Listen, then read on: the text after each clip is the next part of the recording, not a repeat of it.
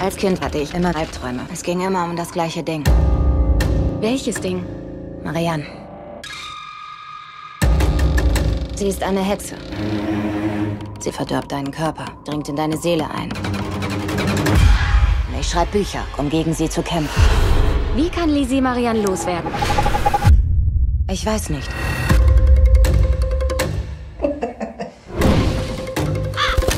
Sie war von Anfang an in meinem Kopf.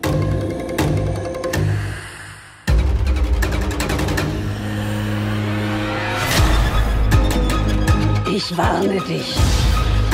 Ich werde dich bestrafen. Die Versprechen, die ich gebe, halte ich immer ein.